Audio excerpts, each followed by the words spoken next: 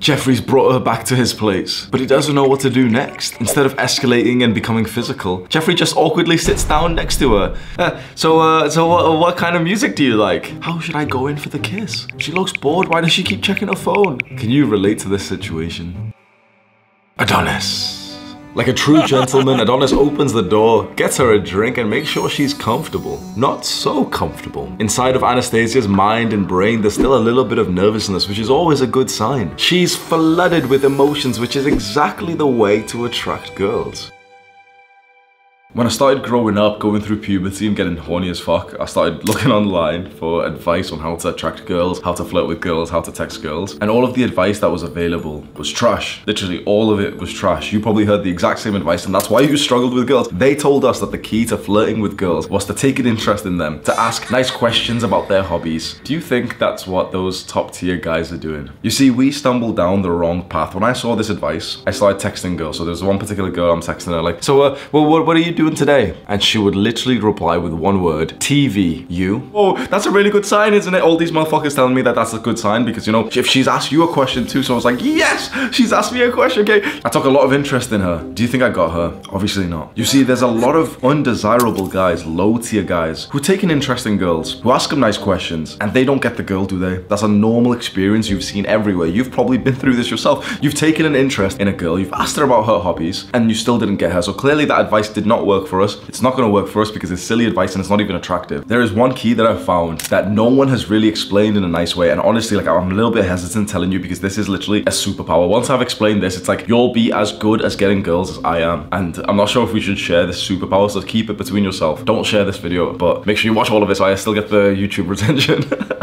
Listen closely and make sure you stay around to let me fully explain this. The key to flirting with girls is not to ask them questions, not to ask them about their hobbies or anything like this. It is to spike all of their emotions. Imagine as a man, we have like seven emotions. There's a limited spectrum of emotions. I can't, it's taken me a while to even list them, right? But there's probably like seven for men, right? For women, guess how many there are? Guess how many emotions that women can be in? Not seven, not 10, not 17, not 25, but bro, hundreds. You ever see like those color palettes where there's like the basic colors. There's probably like seven, ten basic colors. But then there's like, you know, the different shades. It's like hundreds of shades of colors, isn't there? That is like women's emotions. And guess what? The more of those that you spike, the more that she will be attracted to you. It's as simple as this. Most guys don't realize this. Like, this is so fucking good advice. Just trust me, okay? Most guys make this mistake that you've done so many times. You think that the way to attract a girl is to just spike one or two emotions of her, which is like love and interest. And it doesn't work, does it? It never works. And what's so interesting, you've always heard of the stories where the girl is getting fucked around by the guy who's an asshole, who sometimes stands her up, who sometimes like, whoa, this like scares her and shit. You've always heard those stories. Why? Because that guy is hitting as many emotions as possible. You really want to attract this girl that you're currently speaking to, bro. Disappear. Disappear for 24 hours. And that'll be a different emotion that you've not spiked yet. Give her like a slight roast. Don't, don't be mean, but roast her about something. That's a different emotion you've never spiked yet. All of the soft guys who don't even get girls will disagree with us, but they don't get girls. You can't trust them anyway. The guys who get girls, do you really think that all they're doing is just being nice to the girl, just being nice to the girl, doing everything that she wants? Obviously not. What these top tier guys are doing who find it easy to get girls, they're literally just living their normal life. You know, they've got goals and missions that they're working on. And by nature of actually being busy as a man, as a disciplined man, sometimes they're ignoring her. They don't really mean to, but sometimes you just don't reply to your phone like for a couple of hours if you're busy. If you're like a little spurg and you're on your phone every hour of the day, then obviously you're not going to be spiking many of her emotions and that's why you're struggling. I will say this again so that you truly understand. The most common mistake that most guys make is that they only think about spiking the positive, happy, loving emotion in a woman. Whereas the guys who actually get the girl spike a variety of them. You're with your girl, when was the last time that you ever like, BOOM! Like you ever did some weird shit like this? Was the last time that you wrestled her and actually physically hurt her like a little bit? And I'm not talking about abuse or something, but you know, you play fight and then she ends up crying because you just hit her too hard or something, or she's, oh,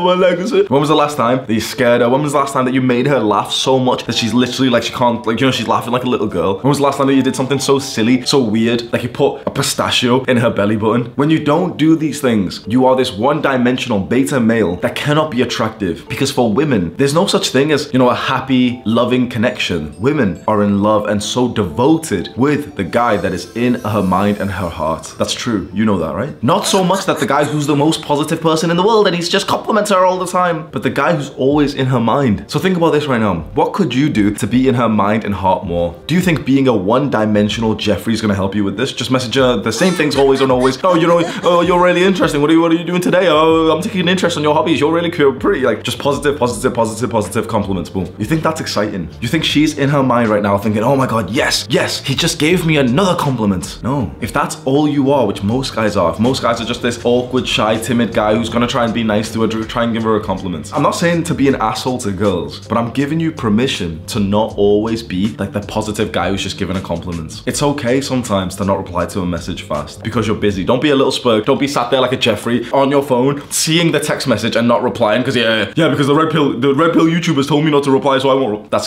Anyone who does that is fucking cringe. When you're on your phone, you can reply to people. So every time I'm on my phone, there's a list of people to reply. I'm not trying to sound like a popular dickhead or anything. Maybe I'll choose like five of them when I'm having a shit and I'll reply every time, right? But that being said, I'm not on my phone that much. Maybe 10 times for the entire day, maybe 20 times. And that's still quite like a low amount for most guys because you need something else to do. The reason why you are stuck in this one dimensional Jeffrey, you know, who's struggling to attract this girl and you're trying to just spike her positive emotion because you've got nothing else to do. How can you disappear and leave her wondering what you're doing when you're always there? How can you make her jealous? Even though those aren't positive emotions and every Jeffrey and Jessica will disagree, but they're not trying to help you anyway. How can you make her slightly anxious when you don't even get other girls? She knows for a fact that she's probably the only girl that's interested in you. And even that, she's almost giving you like a pity interest of like sunk cost fallacy. Like, oh yeah, we've already spoke for a bit, so maybe I'll keep speaking to her. How can she feel literal sexual desire to want to fuck you when you don't have a six pack? Honestly, this is when your cope will start. If you have a predominant Jeffrey brain, you will start coping now and think, oh yeah, this, this video's shit anyway. He's wrong. Why would you want to make a woman anxious? Yeah, uh, compliments, yeah. The six pack doesn't matter because women like that,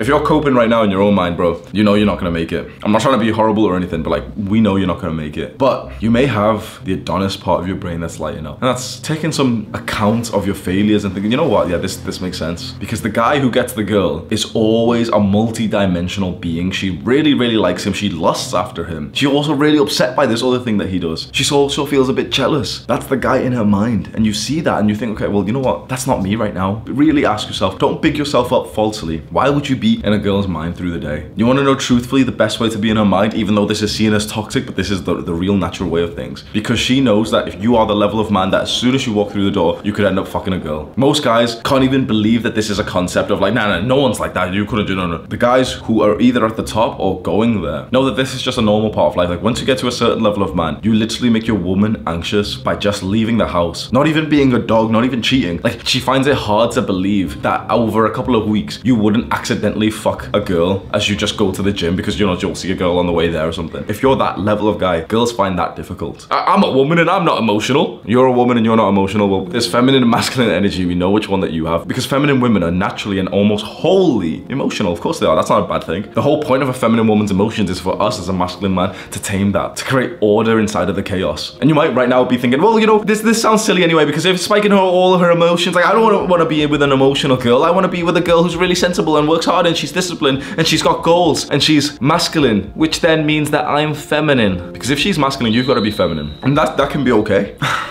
Sometimes, maybe. The truth is, from my understanding, if you don't want a feminine woman who has these normal, like female emotions, which are very chaotic compared to a man's, you might be a lot more feminine than you think. Because I've realized that the more masculine you become, the more ordered and disciplined you become. You just, you shrug your shoulders and like, if someone asked me like, why, why do you date a woman who's emotional? I would answer like, why wouldn't you? I want her because that's the whole point. Like, I'm not that emotional anymore as I've become more masculine. What else? I like that she's got a whole spectrum, whole color palette of emotions. Because it's fun for me. It's like, yeah, sweet. That's my mission. Like with my time with her, that's my mission. That's like, let's engage some of these emotions today. Let's think which one she needs today. Okay, she needs a bit of excitement. Maybe she needs like a little bit of a scare because she's been getting comfortable. So I'll just stand in the wardrobe.